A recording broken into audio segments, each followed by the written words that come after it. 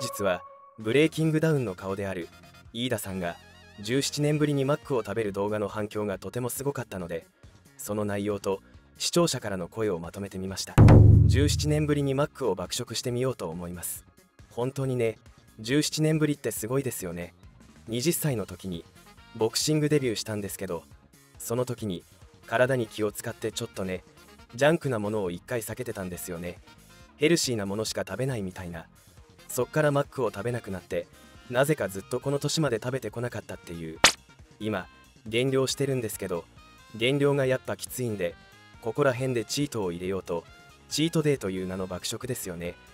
何でも食べようって思った時に焼肉とかでもよかったんですけどマックをそういえばずっと食べてないなと思って今回マックを買ってきました。めっちゃ久しぶりに行きましたね。ドライブスルーマジで懐かしかったですね。10代の頃はね照り焼きが結構好きで照り焼きをめっちゃ食べたんですけど週3ぐらいは食べてましたね。ちょっとねワクワクしましたよ。久しぶりすぎて。今日は照り焼きやらビッグマックいろいろ買ってきました。めっちゃ久しぶりに食べますか？と語り飯田さんは買ってきたマックの商品を全て完食されました。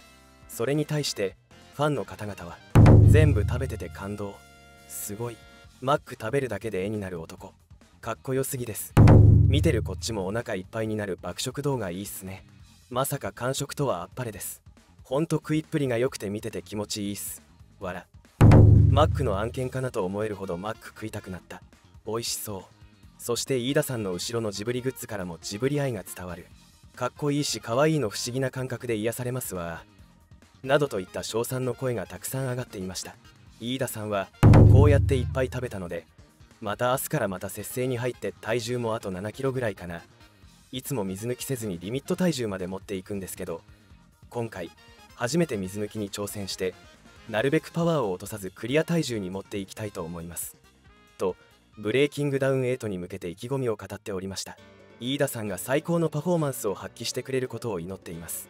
飯田さんがマックを美味しそうに食べていらっしゃったので私もマックを食べたくなりました。あなたはマックのメニューだとどの商品が好きですか？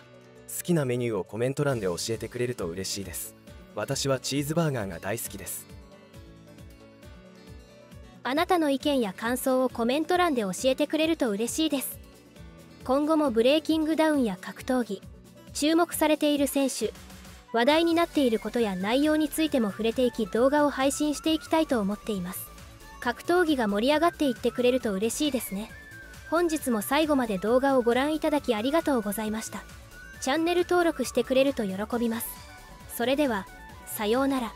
次の動画でお会いしましょう。